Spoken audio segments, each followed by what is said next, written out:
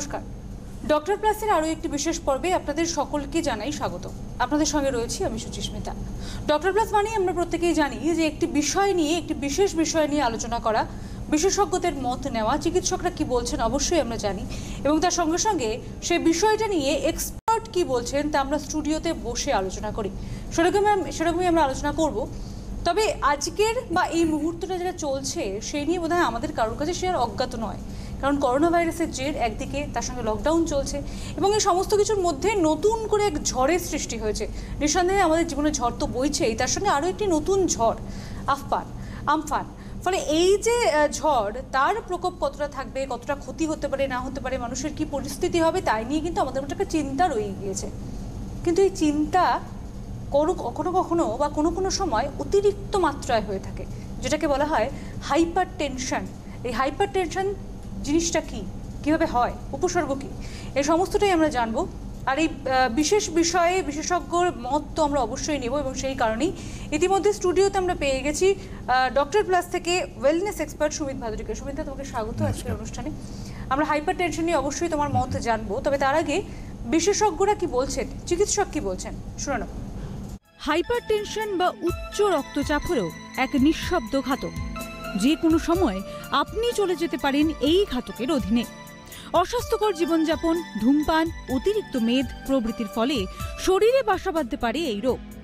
গবেষণায় প্রমাণিত হয়েছে, এই দেশে প্রাপ্তবয়স্কদের এক তৃতীয়াংশ এই রোগে আক্রান্ত। শুধু ওষুধ নয়, সাধারণ জীবনযাত্রায় সামান্য পরিবর্তন আনলেও অনেকটা দখলে থাকে হাইপারটেনশন। এখন প্রশ্ন এই মুহূর্তে দাঁড়িয়ে আপনার মধ্যে হাইপার টেনশন হওয়ার কারণ কি? ডক্টর অভিজিৎ চৌধুরী বলছেন, আমাদের এই কোভিড নাইন্টিনের যুগে পরিপ্রেক্ষিতে মানসিক চাপ নিয়ে বরং যদি আমি দেখি, দেখা গেছে আমরা কিন্তু কম বেশি সব মানুষ মানসিক চাপে কিন্তু ভুগছি। তলা থেকে যদি শুরু করি, এই কোভিড নাইন্টিনের প্রভাবে বহু মানুষের কাজ অর্থাৎ চাকরি কিন্তু চলে গেছে। এবার তাহলে ভেবে দেখুন তাদের মানসিক চাপ কোন পর্যায়ে চলে গেছে। যাদের যাওয়া চাকরি আছে, তারা হয়তো কেউ অর্ধেক মাইনে পাচ্ছে। অনেকে মাইনে পাচ্ছেই না। তাদের বলে দিয়েছে কোম্পানি যে তোমার চাকরিটা আছে, মাইনেটা নেই। এবার তাহলে দেখুন তার মানসিক চাপ কোন দিকে। অনেকে বাড়িতে থাকতে থাকতে মানসিক অবসাদগ্রস্ত হয়ে পড়েছেন। যারা আর কিছুতেই ভালো লাগছে না, কোনো কিছুতেই আর তোয়াক্কা করতে ইচ্ছে করছে না। তাদের ব্যাপারটাও বুঝুন। অনেক বয়স্ক মানুষ রয়েছেন যাদেরকে এই কোভিড নাইন্টিনের জন্য অনেক বিধি নিষেধ আরোপ করা হয়েছে। তাদের অবস্থাটা বুঝুন। অনেক মানুষ আছেন যাদের আনুষঙ্গিক রোগ নিয়ে যাদের জীবনযাপন করতে হয়। এবার তাদেরও আলাদা আলাদাভাবে বিভিন্ন রকম বাধা নিষেধ আরোপ করা আছে। তাদের মানসিক অবস্থাটা বুঝুন। কাজেই এই মানসিক চাপ, মানসিক উদ্বেগ এক এক মানুষের এক এক পেশার মানুষের কাছে বিশেষ অর্থবহ হয়ে উঠেছে। এই মুহূর্তে এটা একটা বড় সমস্যা। কিন্তু একই সঙ্গে আরও একটি চিন্তার কারণও রয়েছে। কাদের? শুনুন। এই যে পরিযায়ী শ্রমিক আগে তো আমরা শুনতাম পরিযায়ী পাখি। এই শব্দটা শুনেছি পরিযায়ী শ্রমিক এই কোভিড নাইন্টিনের তুলনায় আরে আনুকূল্যে এই পরিযায়ী শ্রমিক কথাটা এবার হৃদয়ঙ্গম হলো। এই পরিযায়ী শ্রমিকগুলোর কথাই ভাবুন, তাদেরকে বহু জায়গায় বাড়িতে নিয়ে আসছে। এবারে বাড়িতে তো তারা ফিরে এলো। এটা একটা মানসিক চাপ। এবারে কোভিডের এই আক্রমণ একদিন থামবে, একদিন লকডাউন উঠবে, স্বাভাবিক জীবনযাপন হবে। তারা এবার ফিরে কি করে যাবে, সেটা একটা মানসিক চাপ। তারা ফিরে গিয়ে কাজ কি পাবে, আদৌ পাবে কি না পেলে আর কি আগের মতো সেই আর্থিক সংকুলন হবে কি? এতগুলো মানসিক চাপ। তাহলে বুঝতে পারছেন মানসিক চাপটা কি ধরনের? আমি খুব একটার কথাই বলব, যেসব মানুষের কাজ আছে, কিন্তু থেকেও আর নেই। আজকে যে সংস্থার সাথে যারা যুক্ত ছিল, এই কোভিড নাইন্টিনের দৌলতে তাদেরকে বলে দেওয়া হয়েছে, না করে দেওয়া হয়েছে। তাদের অবস্থা একটা ভাবুন। তাদের তো এখন ভীষণ বাজে অবস্থা কারণ হাতে টাকা নেই। এবং কোনো দিশা নেই যে টাকাটা আবার ভবিষ্যতে আমি কীভাবে পাব। এবং টাকা না থাকলে তার সংসারটা কি করে চলবে এগুলো কিন্তু ভাববার ব্যাপার। জানেন কি মানসিক চাপে মূলত কি কি রোগ হতে পারে? এই মানসিক চাপে প্রথম যেটা হয় গ্যাস্ট্রাইটিস গ্যাস্ট্রিক আলসার হয়ে গেল। যা কি অবস্থা? এমন চাপ যে মানুষের খাদ্য নালীর যে একটা বিরাট অংশ যেটা পাকস্থলী, তাতেই রোগটা ধরে গেল, গ্যাস্ট্রিক আলসার হয়ে গেল। এবার কি হবে? তার কারণ এই আলসার সারাতে বেশ কিছুটা সময়, বেশ কিছুটা পরিশ্রম, বেশ কিছুটা ওষুধ এবং তার হাতে পয়সা নেই। এবার তাহলে কি অবস্থা? ভেবে দেখুন নিশ্চয়ই উত্তর আছে, কিন্তু হয়তো সময় সাপেক্ষ। যাদের ডায়াবেটিস আছে, তাদের মানসিক চাপ বেড়ে গেল, সাংঘাতিক উদ্বেগ। ব্যাস, ডায়াবেটিসের যে রক্তে যে শর্করাটা থাকে, তার মাত্রাটা বেড়ে গেল। সেই বেড়ে যাওয়াটা এমন বেড়ে গেল যে লোকটা ইনসুলিন ইউজ করতে হলো না বা তাকে ইনসুলিন ইউজ করতে হচ্ছে, কারণ উপায় নেই। তা না হলে যে ওই ডায়াবেটিসটা কমানো যাচ্ছে না। আর ডায়াবেটিস যদি না কমে তার সঙ্গে আনুষঙ্গিক আর চার জিনিসগুলো বেড়ে গেল।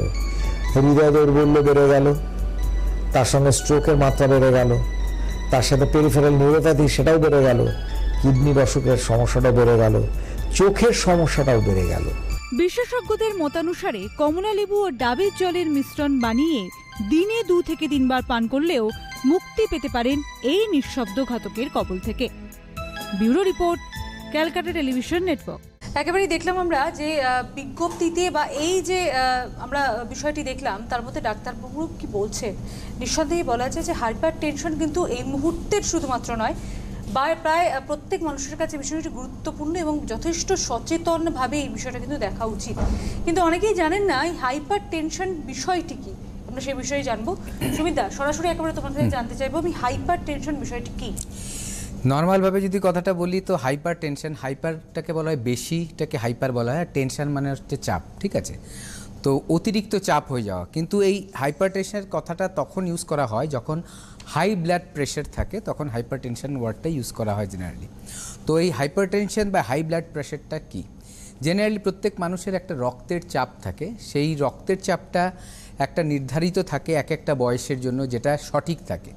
এবার বিভিন্ন কারণে দেখা যায় সেই রক্তের চাপটা অতিরিক্ত হয়ে যাচ্ছে। এক একটা লেভেল আছে সেই লেভেল থেকে ধরুন যেটা বলব যে একশো চল্লিশ আমরা তো দেখি যখন প্রেশার মাপা হয় ডাক্তারবাবুরা বলেন বা কোনো এক্সপার্ট যদি মাপেন সেটা বলে এত বাই এত একশো কুড়ি বাই আশি।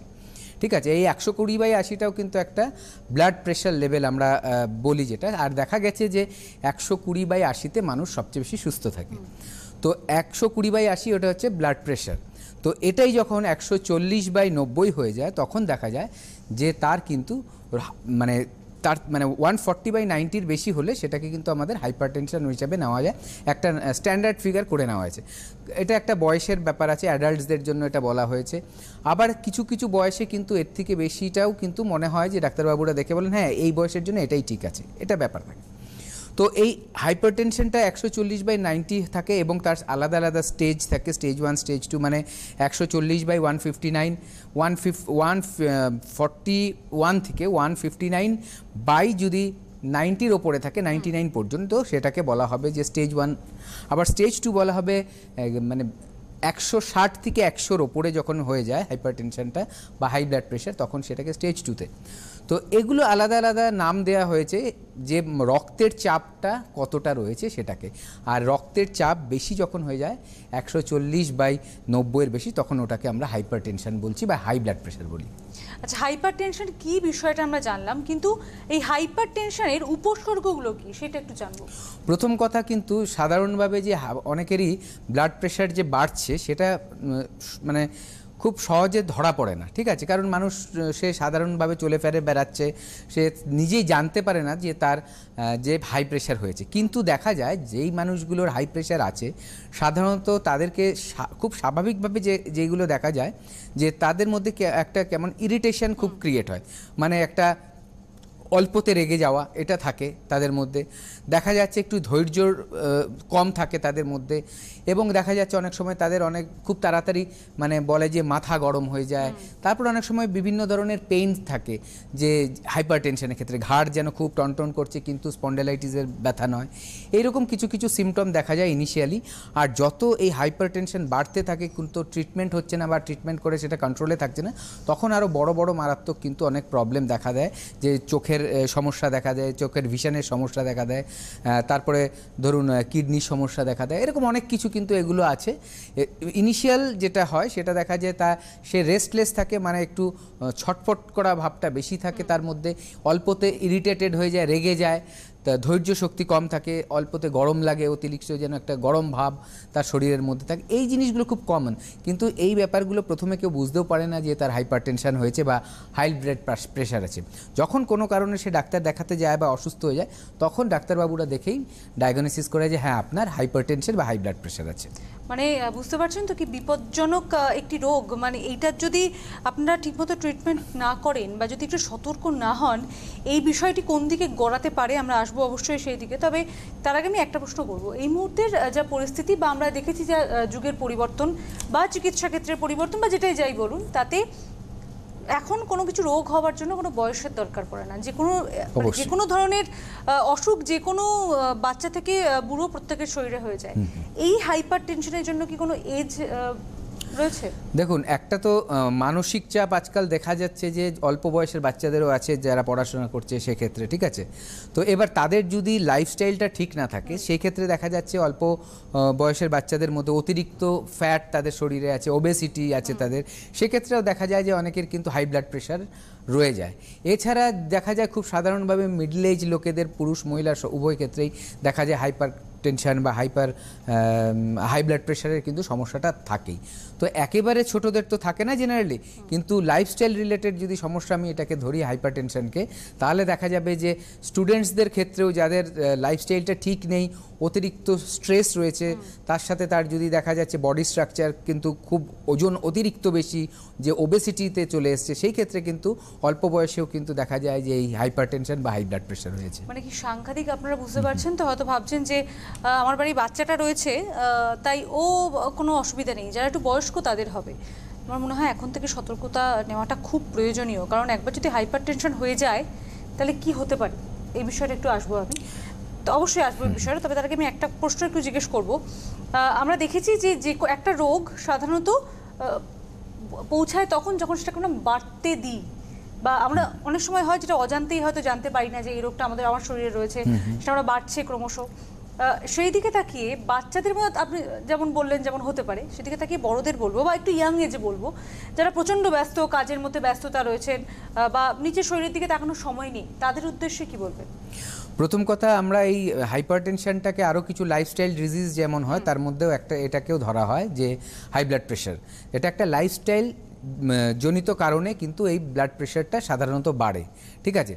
তার মধ্যে যেটা বলব, প্রথম কথা বলব, মানুষরা যদি নিজের ক্যারিয়ারটাকেও খুব বড় করতে চায়, নিজের প্রফেশনাল জায়গাটাকেও খুব অনেক মানে এগিয়ে নিয়ে যেতে চায়, অনেক দূর অবধি নিয়ে যেতে চায় সাকসেসফুল হতে চায়, তাহলে কিন্তু সবচেয়ে প্রথম যেটা দরকার, নিজেদের স্বাস্থ্য।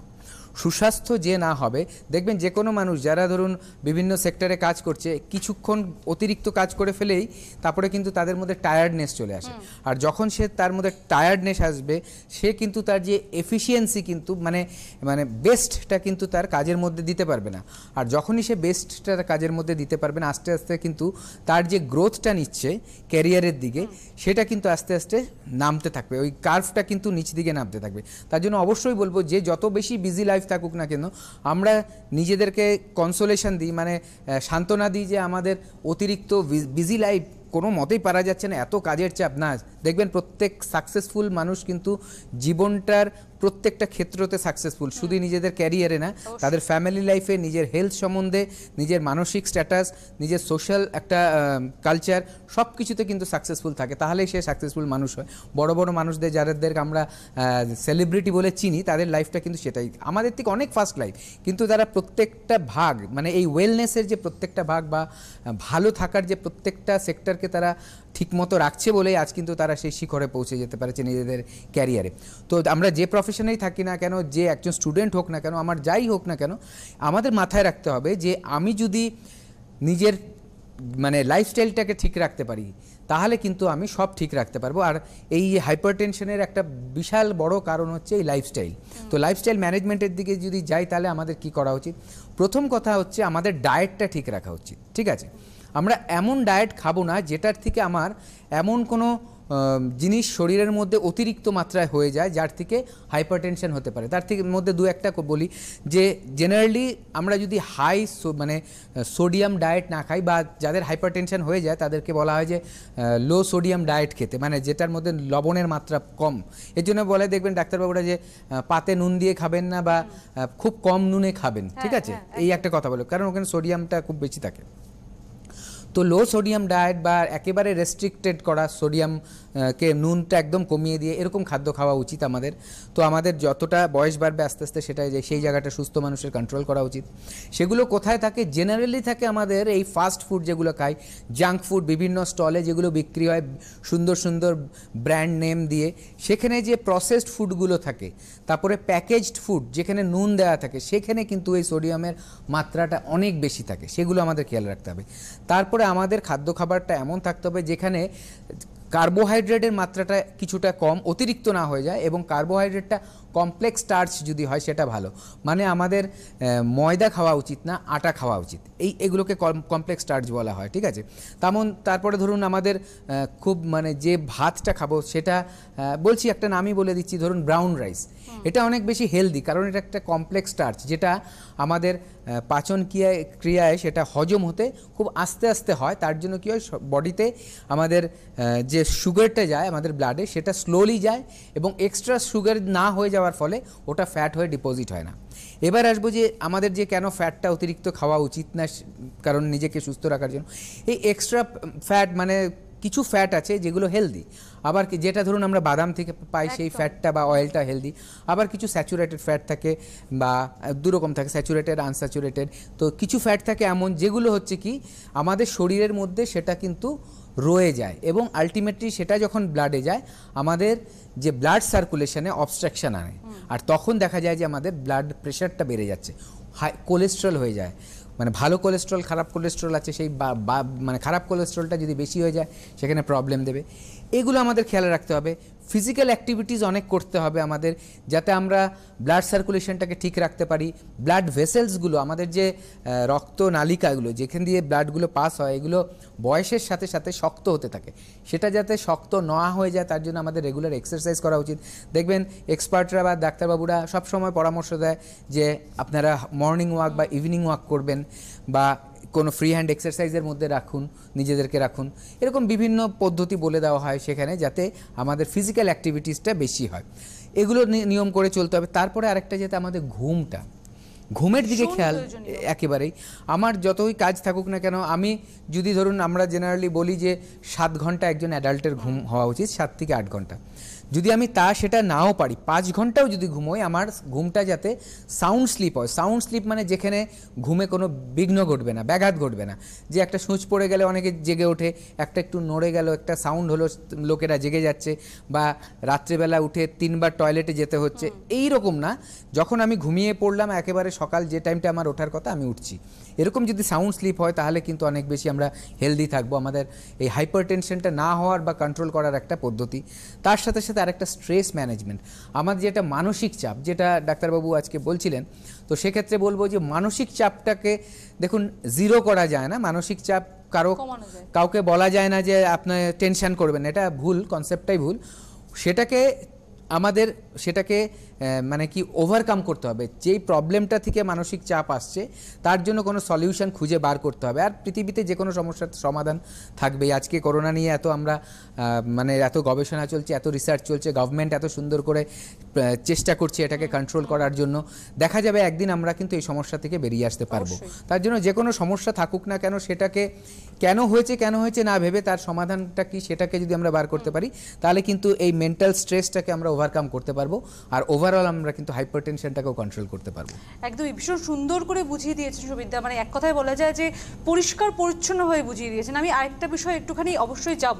তবে আপনাদের তার আগে একটুখানি জানাব যে এই যে হাইপার টেনশন যে বিষয়টা আপনি শুনছেন, বারবার করে বলে দেওয়া হচ্ছে হ্যাঁ অবশ্যই এই মুহূর্তটা আমাদের মধ্যে টেনশনের পরিমাণটা বেশি থাকবেই। কারণ পরিস্থিতি আমাদের এই টেনশন নিতে বাধ্য করছে বা হয়ে যাচ্ছি। তবে টেনশনকে এতটাও প্রশ্রয় দেবেন না যেটা আপনার পক্ষে শারীরিক দিক থেকে ভীষণভাবে আপনার ক্ষতি করে দেয়। আমি এই বিষয়টা একটুখানি আসব। আমরা যে কোনো রকম অসুখ বলুক বলুক বা ডায়েট ফলো করতে বলি বা ভালো থাকবার জন্য জল খাওয়াটাকে ভীষণভাবে গুরুত্ব দিতে বলি। তো এই বিষয়ে বা শুধুমাত্র এই বিষয়ে নয়, আমরা যে কোনো কিছুতে বা পরিস্থিতি বলুক বা বাইরে বেরোলে গর্বের পরিমাণ বেশি সেদিকে জল খাওয়াটা কতটা ইম্পর্টেন্ট সেটা আগে একবার একটু বলে দেখুন প্রথম কথা আমরা অনেক সময় আজকাল বলি যে প্যাকেজ ড্রিঙ্কিং ওয়াটার ঠিক আছে? এটাকে আগে মিনারেল ওয়াটার বলে বিক্রি হতো বাজারে।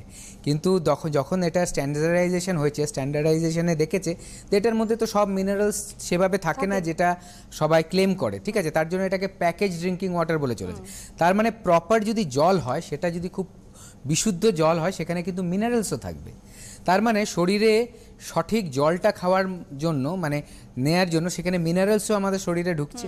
ঠিক আছে এটা হচ্ছে প্রথম। দ্বিতীয় কথা বলব আমাদের শরীরের যে এই যে ব্লাড সার্কুলেশন আছে তার কিন্তু বেশিরভাগটাই কিন্তু জল। শরীরের মধ্যে কিন্তু অনেকটা পার্টি কিন্তু আমাদের জল আর এই জল ছাড়া কিন্তু আমাদের শরীরে সুস্থতা রাখা সম্ভব নয়।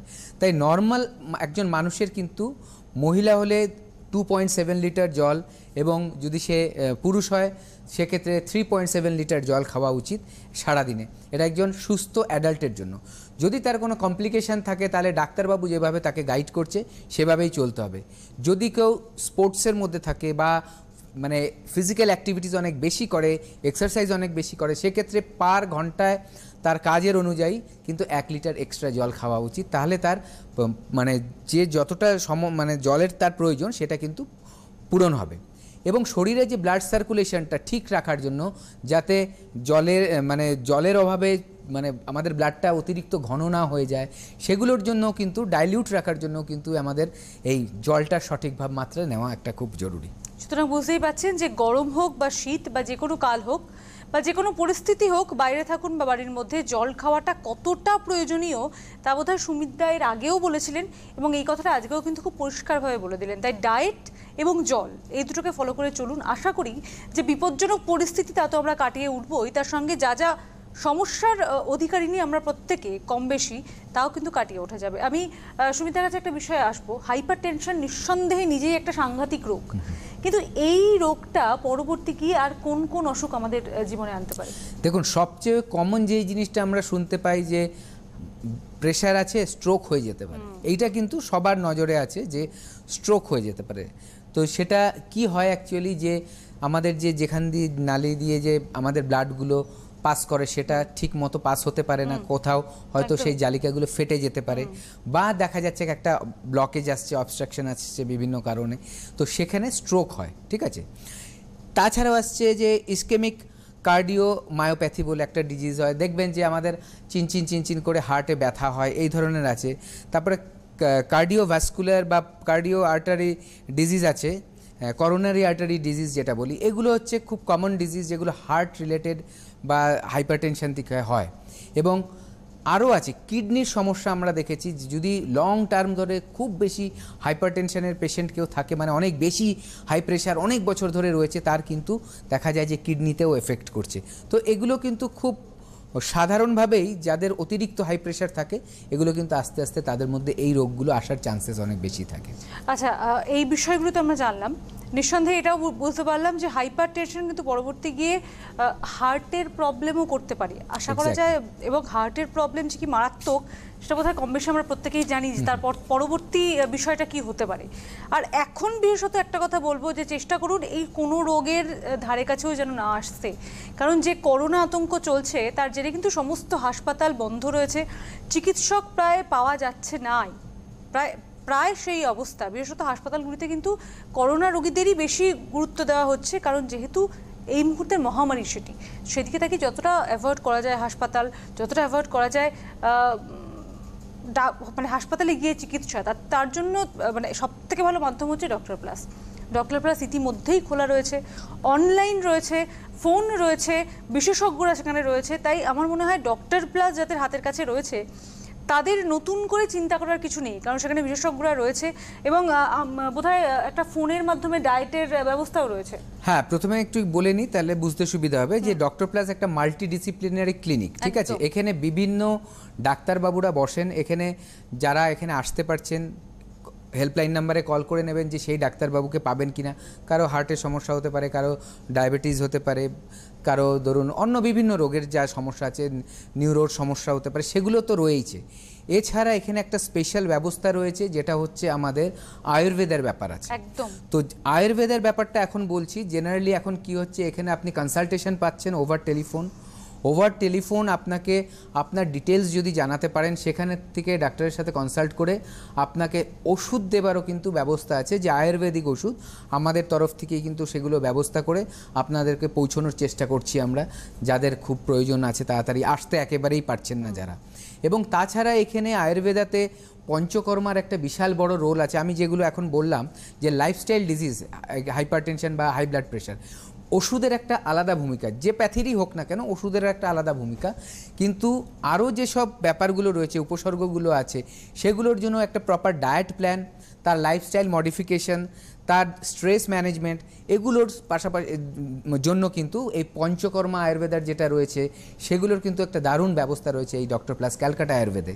তো আপনাদের যদি এই যে কোনো সমস্যাই থাকুক না কেন তো আজকে আমরা হাই ব্লাড প্রেশারের সমস্যা আলোচনা করলাম।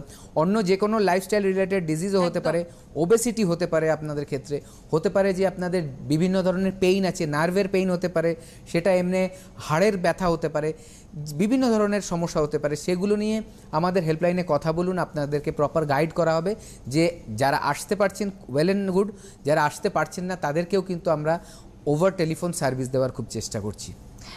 একেবারে আমরা আবারও হাইপার টেনশন যাব তবে তার একটি ফোন রয়েছে আমরা নিয়ে নেব। নমস্কার কে রয়েছেন হ্যাঁ হ্যালো আমি পাটুল থেকে বলছি। বলুন। আমি সিনিয়র সিটিজেন বুঝলেন? সিনিয়র সিটিজেন আচ্ছা। হ্যাঁ সেভেন্টি টু প্লাস তো আমার age। কত?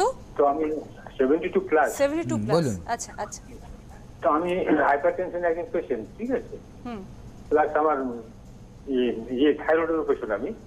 তো আমি হাইপার টেনশন পেশেন্ট মানে কি ওটা কি হার্ট ডিজিজেরই মতো নাকি? বুঝলাম না কি বলছেন? হার্ট ডিজিজের মতো? না না হার্ট আচ্ছা। আচ্ছা আমি বলছি দেখুন আপনি শুনুন আপনি শুনতে থাকুন। দেখুন হাইপার টেনশন আবার বলছি প্রথমে শুরুতেই বলেছিলাম যে এটা একটা টেকনিক্যাল টার্ম দিচ্ছে হাই ব্লাড প্রেশারের ঠিক আছে? হাই ব্লাড প্রেশারটা যখন একটা লেভেলের থেকে বেশি হয়ে যায় তখন সেটাকে হাইপার টেনশন নাম দেয়া হয়েছে ঠিক আছে? এটা হাই ব্লাড প্রেশার হিসাবেই আপনি ধরুন। আপনার হাইপার টেনশন আছে হ্যাঁ আপনি হয়তো টেনশন কথাটা শুনে অনেকেই ভাবছে যে টেনশন রিলেটেড এটা কিছু? হতে হার্টের প্রবলেম আসতে পারে। দেখুন আমি এটাই বললাম যে হাইপার টেনশন থেকে কিন্তু হার্টের সমস্যা আসতেই পারে।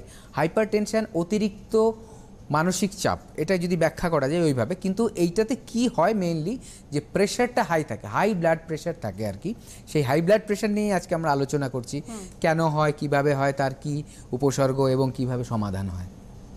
একেবারেই। অর্থাৎ বলা হচ্ছে যে আপনার হাইপার টেনশন রয়েছে তার মানে আপনি হার্টের পেশেন্ট নয় তবে এইটা যদি বাড়তে থাকে তাহলে হয়তো পরবর্তীতে গিয়ে সেটা হার্টের পেশেন্ট হতে পারে। কিন্তু তার মানে এই নয় যে আপনি এই মুহূর্তে রয়েছে। তবে চিন্তার কিছু নেই ডক্টর প্লাস রয়েছে আপনাদের সাহায্যের জন্য একটা ফোন করে ফেলুন। আর বিশেষ- বিশেষজ্ঞরা রয়েছে ডাক্তারবাবুরা রয়েছে ওটা অনায়াসে আপনার যারা সমস্যার সমাধান হয়ে যাবে। আমি একদম প্রায় শেষের দিকে চলে এসেছি আমি যে প্রশ্নটায় যাব এই যে হাইপার টেনশন হলে নিয়ন্ত্রণ কি করে করবে? দেখুন প্রথম কথা মেডিসিনের একটা পার্ট আছে। যে যেই প্যাথিতেই যাক না কেন একটা ডাক্তারবাবুদের পরামর্শে একটা মেডিসিনের পার্ট থাকবে। আরেকটা যে পার্টটা থাকবে আমি আরেকবার বলে দিচ্ছি একটু আগে আল- আলোচনা করেছিলাম সেটা হচ্ছে লাইফস্টাইল মডিফিকেশন অবশ্যই। সে লাইফস্টাইল মডিফিকেশনে কি থাকবে? যাদের মানসিক চাপ অতিরিক্ত বেড়ে যাচ্ছে যে সেটা একটা সমস্যার কারণ হয়ে যাচ্ছে অতিরিক্ত চিন্তা হয়ে যাচ্ছে সেটাকে আস্তে আস্তে কিন্তু কমিয়ে আনারও পদ্ধতি আছে সেটাকে কমাতে হবে। যাতে সে মানসিক চাপটাকে ওভারকাম করতে পারে। তারপর তার সাথে হচ্ছে প্রপার ডায়েট যাদের অতিরিক্ত রক্তচাপ আছে বা হাই ব্লাড প্রেশার আছে তাদের খাদ্য খাবারের ধরনটা একটু সাধারণের থেকে আলাদা হওয়া দরকার যাতে সেই খাদ্য খাবারের মাধ- মাধ্যমে এমন কিছু তার শরীরে না যায় যেটা আরও রক্তচাপটাকে বাড়িয়ে রাখবে বা কমতে দেবে না। সেই একটা ডায়েট চার্টের ব্যাপার। তারপরে ফিজিক্যাল অ্যাক্টিভিটিস মানে তার একটা নিয়ম করে একটা কিন্তু ডেইলি এক্সারসাইজ রুটিন বা হাঁটাচড়া করা উচিত, যাতে তার ব্লাড সার্কুলেশনটা ভালো হয় বডিটা ফিটনেস থাকে, এই সবগুলো। এই সবগুলো যদি নিয়ম করে করা যায়, তাহলে দেখা যাবে এই হাইপার টেনশনটাকে কিন্তু ওভারকাম করা যেত। বাহ, একটা অসাধারণ লাস্টের খবর যে এই যে কথাটি বললেন যে হাইপার টেনশনকে কিন্তু ওভারকাম করবার করা যায়। এবং তার জন্য সব থেকে ভালো ম্যানেজমেন্ট হচ্ছে ডক্টর প্লাস রয়েছে। ডক্টর প্লাস আপনাদের জন্য সব সময় খোলা রয়েছে। সেখানে ফোন করে ফেলুন এবং অবশ্যই আপনারা আপনাদের সমস্যা অনায়াসে সমাধান পেয়ে যাবেন। তবে আজকে আপাতত সময় একেবারেই শেষ। সুমিতা, তোমাকে অনেক ধন্যবাদ। আমাদের এত সুন্দরভাবে পুরো বিষয়টি বলবার জন্য। আর আপনাদেরও প্রত্যেককে অনেক ধন্যবাদ। তবু যাওয়ার আগে একটা কথাই বলব, চিন্তার কিচ্ছু নেই। যে কোনো কিছুর একটি শেষ অবশ্যই রয়েছে। এই সমস্ত কিছু পরিস্থিতি শেষ হবে। তবে আপনাদের যা যা সমস্যা রয়েছে, তার জন্য ডক্টর প্লাস রয়েছে। তাই এক ফোঁটাও চিন্তা না করে টেনশন না বাড়িয়ে নিজের সমস্ত টেনশন দূর করুন। আর অবশ্যই সঙ্গে থাকুন সিটিভিএতে। আপাতত এই পর্যন্তই। আপনাদের সঙ্গে দেখা হবে আবারও পরবর্তী পর্যায়ে। ততক্ষণ ভালো থাকুন, সুস্থ থাকুন সাবধানে থাকুন।